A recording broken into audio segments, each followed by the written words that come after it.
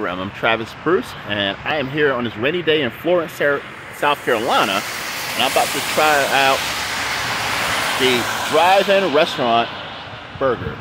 I hear that they have some delicious food, some mom and pop shop, so I'm about to head in and see how it how it, this burger is. I ordered their bacon cheeseburger with some fries, and also I got something called a clarinet, which is like a cherry lemonade. It's delicious. All right, so let's pop this burger bun off. Oh, there we go. Alrighty, let's see what we got in this burger. All right, bacon cheeseburger, lettuce, tomato, mayonnaise. Keeping it simple. Keeping it simple. Fries, tell a lot about foods burgers by their fries. Let's give it a and Good fresh cut fry. All right, let's go into the first bite.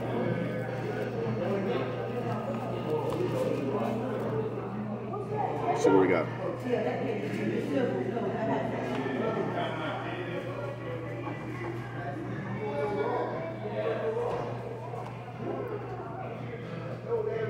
First bite's good.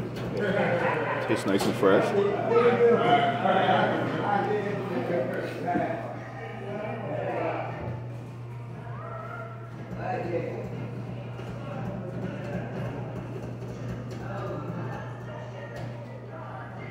Decent burger.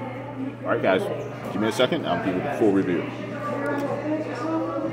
Um, the customer service was great. The restaurant was clean. It's definitely a friendly place to, to go to. I never had a clarinet before. It's a cherry lemonade. Cherry the bottom. Oh, that I give that a hundred out of five. Listen, I never knew I was missing this in my life. Anyway, the burger, um, well seasoned, had all the fixings, just the basics. Um, the patty was a little thin, but I mean I can't complain because I got a, a clarinet fries, and a burger for 10 bucks. Can't beat that. That's why I love eating at uh, Burgers at the South. You know, they're, they're inexpensive.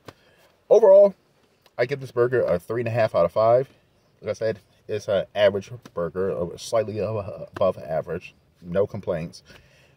Wasn't one of those burgers that was a wow with, with, with the taste buds, but no complaints. I would definitely suggest for you guys to check them out and I'll put their information down in my description as well.